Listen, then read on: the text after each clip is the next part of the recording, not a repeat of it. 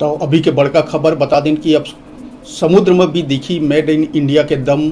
छह सबमरीन पर पचास हज़ार करोड़ रुपए के डिफेंस प्रस्ताव ला मंजूरी मिल गया है। भारत सरकार कतिले बता दें कि बड़का खबर अभी के अब समंदर में भी दिखी भारत के दम।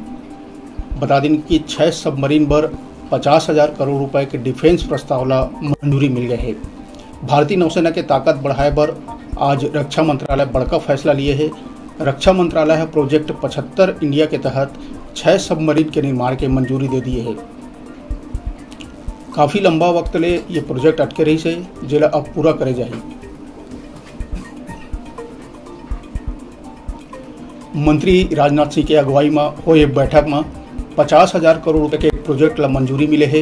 ये प्रोजेक्ट ला स्वदेशी कंपनी मंझगांव डॉक्स लिमिटेड और एलएनटी के ला सौंपे गए हैं। ये प्रोजेक्ट पर ये दोनों कंपनी कोनो एक विदेशी शिपयार्ड के संग मिलकर पूरा प्रोजेक्ट के जानकारी सौंपी और बीट लगाई।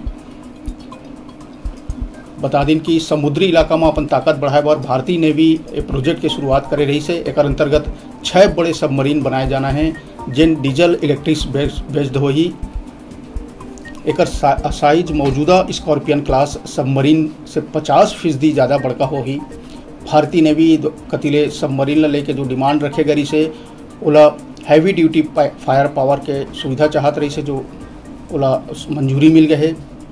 बता दें कि नेवी के मांग रही कि सबमरीन में 18 हैवी वेट टारपीडो ल ले जाए के लायक क्षमता रहे। भारतीय नेवी का ना करीब 140 सबमरीन और सरफेस वारशिप है। तो वहीं पाकिस्तानी नेवी के तुलना करी तो पास सिर्फ़ 20 है।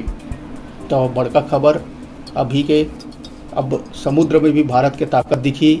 छः सबमरीन पर पचास हज़ार करोड़ रुपए के डिफेंस प्रस्ताव ला भारत सरकार मंजूरी दे दी है।